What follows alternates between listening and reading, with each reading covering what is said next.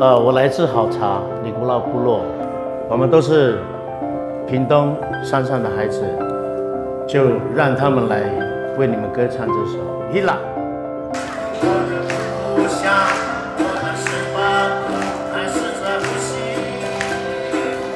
我主题其实是很少人想要去触碰的问题，就是有关猎人还是不是以前的猎人这样的一个。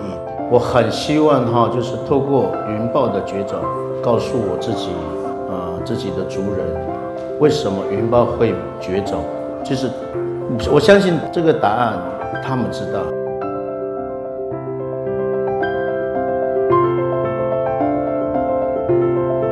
我上一代的长辈、上一代的长辈都有讲了，都有交代了。我们好茶村卢卢凯族好茶部落的人是不准猎杀云豹。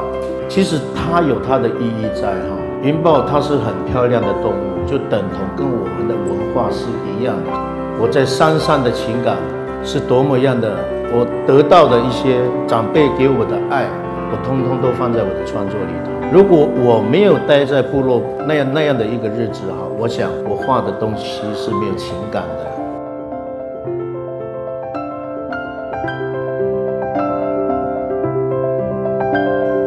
这个横梁它是整根的，哦要如何翻过三个山头，然后砍到自己的部落？你们觉得容易吗？不容易吧？所以。你们遇到那个盖石板屋的长辈们，你们要很尊重他们。我是指引回家的光，啊，在石板屋里头的火是永远不会熄灭的，而且是最给他们温暖的地方。有时候有那种，啊，希望长大我也要，我也是一个厉害的猎人，所以。啊，我特别把它画起来，是希望把这个文，我希望这个文化延续下去。现在迁村了哈，离山上远了，所以这个文化就不再有了，我觉得很可惜。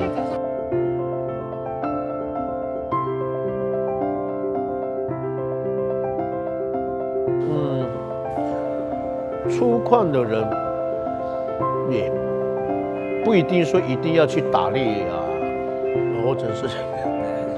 你怎么想要突然拿起画？我们部落的人从我开始画画，他们当他们知道我在画画的时候，现在会聚在一起，那就是说，引他们认同我现在这个样子。所以我现在所有的作品，那个都是部落的人给我的。对对。包我的记忆呀，他们是我祖先给我的礼物。那我来，我分享给自己。